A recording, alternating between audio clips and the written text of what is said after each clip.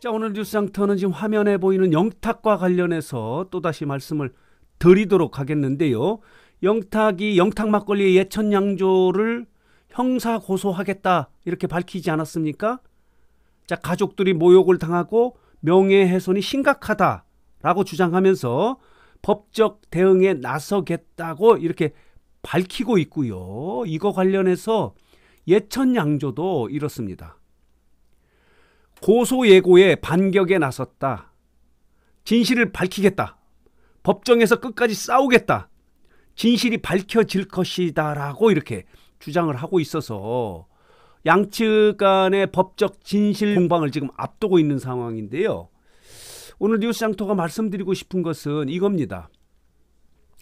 이 법적 대응의 주체가 뉴에라 프로젝트라는 점을 어, 말씀을 드리도록 하겠는데요. 왜 뉴에라 프로젝트가 이 문제에 나서고 있느냐. 여기에는 또 다른 속셈이 있는 거다. 꼼수가 있는 것 같다라고 해서 이 부분을 좀 해석해서 여러분들에게 말씀을 드리도록 하겠는데요. 내용은 이런 겁니다.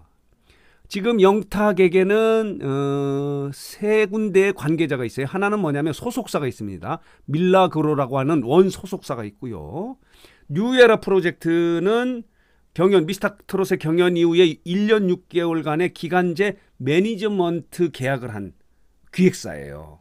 말하자면 활동 계약을 맺은 거예요. 공연이나 방송 활동 이런 거에 대한 1년 6개월 동안의 매니지먼트를 하도록 한 회사가 뉴에라 프로젝트인데 뉴에라 프로젝트는 TV조선과 밀접한 관계가 있는 거고요. 결과적으로 말하면 TV조선이라고 해도 어, 과언이 아닙니다. 이렇게 있고요. 또 하나는 뭐냐면 법률 대리인이에요. 법무법인 세종이 이제 법률 대리인데 이렇게 세 개의 주체가 있어요. 영탁을 관리하는 음, 음, 관계자가 기획사나 소속사 그리고 법률 대리인 이렇게 세 개가 있는데 왜 뉴에라 프로젝트가 이 문제를 들고 나왔냐 하는 거예요. 주체가 밀라그로라든가 아니면은 법무법인 세종이어야 되는데 뉴에라 프로젝트가 왜 이 문제를 제기하고 주체가 돼서 나서냐 이거예요. 이 부분에 대해선 다른 속셈이나 꼼수가 있지 않느냐 하는 부분을 해석해서 여러분들에게 말씀드리도록 하겠는데요. 왜냐하면은 영탁은 뉴에라 프로젝트와 기관제 매니지먼트가 다음 달 9월 12일에 만료가 돼요. 그래서 지금 미스터 트롯 탑6와 TV조선, 뉴에라 프로젝트와 재계약 여부가 지금 논란이 되고 있지 않습니까? 재계약을 하느냐 마느냐. 말하자면은 어제 17일이죠. 뉴에라 프로젝트가 이렇게 발표한 아티스트를 보호하기 위해서 이렇게 거짓 주장하는 예천 양조에 대해서 법적으로 강력하게 대응하겠다. 이렇게 대응하겠다 이런 거예요. 형사 고소한 게 아닙니다. 라고 이렇게 밝혔는데 뉴에라 프로젝트는 물리적으로 이 소송을 끌어갈 주체가 될 수 없는 거예요. 9월 12일이 되면 관계가 끊어지기 때문에 계약이 만료가 돼서 이제 남남이 되는 거예요. 이런 상황에서 왜 밀라그루라고 하는 소속사도 아니고 법무법인 세종도 아닌 뉴에라 프로젝트가 이렇게 법적 싸움의 주체가 되느냐는 얘기죠. 이 법률 싸움은 오래 가는 거예요. 물론 뭐 어, 나중에 소송하고 어, 법률 다투 법적 다툼이 될 경우에는 법무법인 세종이 하긴 하지만은 이 뉴에라 프로젝트가 어제 발표한 내용에 보면 이런 게 있습니다. 어, 내용을 한번 보면요. 예천 양조 측의 1년의 위법 부당 행위를 인내해 왔다. 이제 영탁의 입장에서 이야기하는 거예요. 그러나 상표 관련 협상에 참여하지도 않았던 영탁과 영탁은 어, 상표 관련 협상에 어, 직접 참여하지 않았다는 거예요. 그리고 그 가족에 대한 모욕과 명예훼손을 멈추지 않고 있음에 분명한 사실관계 안내를 통해서 진실을 규명하지 않을 수 없, 없었다. 이를 통해서 아티스트를 보호하고 또 아티스트의 가족을 보호하는 것이 우리의 책임이다. 그래서 끝까지 말하자면 이런 상황을 악의적으로 일으킨 예천양조 측에 대한 강력한 대응을 통해서 올바른 사실관계를 알리고 영탁의 피해를 회복할 것이다 라고 이렇게 주장을 한 거에 보면 말이죠. 장기적으로 영탁을 관리하겠다는 의지를 갖고 있는 거예요. 여기에 말하자면 다른 속셈이 있는 거 아닌가. 뉴에라 프로젝트는 영탁과 9월 10일 이후에도 재계약을 통해서 계속 관계를 갖자라고 하는 의지를 갖고 있는 게 아닌가 이런 생각이 들어요. 엄밀히 따지면 뉴에라 프로젝트는 공연 관련, 방송 관련 활동에 관한 매니지먼트만 하면 되는 거예요.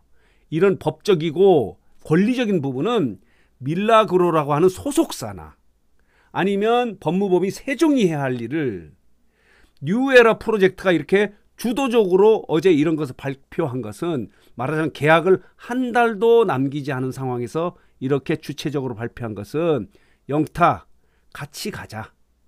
그리고 또 하나는 뭐냐면 탑6의 다른 사람들에게도 영탁도 이렇게 같이 간다. 재계약을 할 것이다. 왜 그러냐면 재계약을 하지 않으면 뉴에라 프로젝트는 이렇게 지금 뉴에라 프로젝트가 주장했던 대로 영탁의 피해 회복, 법적인 회복, 법률 다툼을 계속 관리할 수 있는 상황이 아니에요.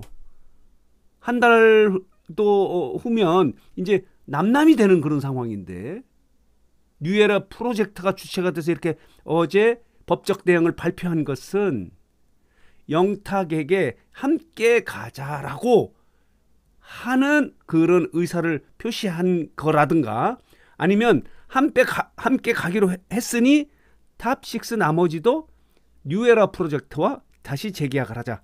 TV조선과 재계약을 하자는 의지를 갖고 있는 거 아닌가. 그런 속셈을 갖고 이렇게 얘기한 것이 아니냐는 해석이 가능하거든요. 저는 어제 뉴에라 프로젝트가 이런 발표를 하는 걸 보고 아, 좀 이상하다. 밀라고로라는 소속사가 했어야 되는 거 아닌가? 아니면 법무법인 세종 이 어, 법무부 어, 법률 대리인을 맡고 있는 그 세종 법무법인에서 해야 되는 것이 맞지 않겠냐? 왜냐하면 이 법적 다툼이나 장기적으로 가는 거거든요. 바로 되는 거. 지금 또 문제가 뭐냐면 형사 고소한 것도 아니에요. 형사 고소 키로했다는 거예요. 그렇다면은 앞으로 뉴에라 프로젝트는 영탁의 계약 이후에도 계속 관리해 주고 싶다는 의지를 갖고 있는 거 아닌가요? 물론 어, 지금 뉴에라 프로젝트가 주장하는 영탁이 이제 모욕이나 명예훼손을 당했다는 부분에 대한 뭐 본질적인 법적 다툼에 대한 이야기를 말씀드리는 건 아니고 왜 뉴에라 프로젝트가 이 문제의 주체가 됐느냐 하는 부분을 엄밀히 면밀히 보면 이건 아니다 싶은 생각이 들어서 말하자면은 뉴에라 프로젝트 말하자면 TV조선은 영탁과 계약 이후에도 함께 재계약을 하고 싶다는 의지를 갖고 있다는 것을 보여주는 거고 아니면 이미 재계약을 약속했기 때문에 뉴에라 프로젝트는 이 문제를 끌고 갈 것이다라고 하는 것을 미스터 트롯의 탑6 다른 트롯맨에게 알려줌으로 인해서 다시 탑6도 뉴에라 프로젝트와 계약을 했으면 좋겠다는 의지를 담고 있는 어제 발표가 아닌가. 이렇게 해석을 하면 좀 너무 극단적인 해석인가요? 저는 좀 이상하게 봤어요. 왜 뉴에, 뉴에라 프로젝트 말하자면 계약이 한 달도 남지 않은 이 뉴에라 프로젝트가 영탁의 이, 이 권리, 법적 권리를 보호하기 위해서 끝까지 싸우겠다 이렇게 얘기하냐. 만약에 재계약이 9월 12일 날 하지 않아도 뉴에라 프로젝트는 영탁의 이 법적 권리를 보호하기 위해서 싸워줄 건가요? 그렇지는 않지 않습니까? 뭐 예를 들어서 형사 고소를 할 것이냐 안 할 것이냐 하는 부분도 영탁이나 법무법인 세종 법률 대리인이죠. 아니면 밀라그로라고 하는 소속사가 판단해야 될 문제라고 이렇게 보거든요. 그런데 어제는 뉴에라 프로젝트 말하자면 1년 6개월간의 기간제 매니지먼트 계약을 맺은 뉴에라 프로젝트가 말하자면 TV조선이 이런 걸 제시를 한 거예요. 내가 영탁을 보호하겠다. 끝까지 싸워주겠다. 그래서 예천양조의 잘못된 점을 밝혀내겠다. 이렇게 주장을 한 거, 이 발표를 한 거에 대해서 어, 뉴에라 프로젝트가 또 다른 어떤 그 의지, 속셈이 있어서 그런 게 아닌가 하는 해석이 가능하기 때문에 여러분들에게 어제 뉴에라 프로젝트가 영탁을에 대해 어, 법률 대응을 하겠다고 이렇게 발표한 것과 관련해서 또 다른 속셈, 또 다른 어떤 꼼수가 있는 것이 아닌가 하는 부분에 대해서 해석해서 여러분들에게 말씀드립니다. 말하자면 본질적인 거는 진실 게임이고요. 공방이고 이 어제 발표를 통한 또 다른 이면의 어떤 어, 속셈이랄까요? 이런 것들이 이렇게 있지 않겠는가 하는 부분을 여러분들에게 해석해서 또 분석해서 말씀을 드렸습니다. 여러분들은 어떻게 생각하십니까? 그런 점이 있지 않겠습니까? 지금 가장 예민한 게 탑 미스터 트롯 탑6가 TV조선과 다시 재계약을 할 것이냐 하는 부분이 지금 초미의 관심사 아닙니까? 방송과 가요계에. 그래서 이런 와중에 이런 초미의 관심사 속에서 뉴에라 프로젝트가 어제 예천 양조와 갈등 그 상황에서 영탁의 입장을 대변하면서 형사 고소하겠다. 법적 대응에 나서겠다. 그래서 아티스트를 보호하겠다는 그런 공식 입장문을 발표한 것과 관련해서 또 다른 속셈이 있는 것이 아닌가라는 것을 해석해서 여러분들에게 말씀드렸습니다. 여러분 좀 이해가 되시나 모르겠습니다. 혹시 또 이 문제를 가지고 왜 엉뚱한 해석을 하느냐 이렇게 지적할 수는 있어도 한 번쯤은 생각해 볼 문제여서 뉴스장터가 이 부분을 해석해서 말씀드렸습니다. 자 오늘 뉴스장터 영상은 여기서 마치겠고요. 마지막으로 뉴스장터를 혹시 아직 구독하지 않으신 분들께서는 구독, 좋아요, 알림 버튼 꼭 눌러주시기 바랍니다. 더 좋은 방송 그리고 재밌고 유익한 방송으로 보답하도록 하겠습니다.